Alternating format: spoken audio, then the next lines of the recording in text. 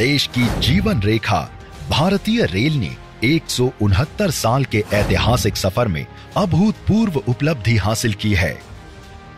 16 अप्रैल अठारह सौ तिरपन को देश की पहली ट्रेन बोरी बंदर मुंबई स्टेशन से ठाणे के मध्य चलाई गई थी।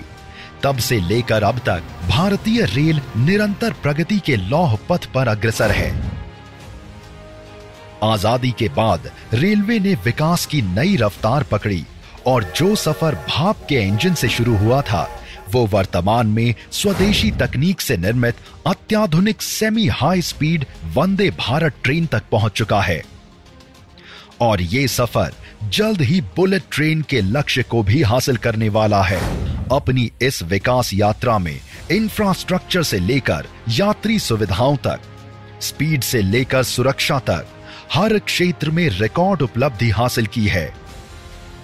गुजरात के गांधीनगर कैपिटल और मध्य प्रदेश के रानी कमलापति जैसे रेलवे स्टेशन विश्व स्तरीय सुविधाओं की शानदार मिसाल पेश कर रहे हैं। आधुनिक भारत की आधुनिक तस्वीर पेश करने वाली स्वदेशी स्वचालित ट्रेन सुरक्षा प्रणाली कवच पर आज हर देशवासी को गर्व है। डिजिटल इंडिया के निर्माण में अपना योगदान देते हुए भारतीय रेल तेज़ी से डिजिटाइज हुई है। अपनी सेवा, सुरक्षा, समर्पण के कारण भारतीय रेल आज भी देश की लाइफ लाइन बनी हुई है।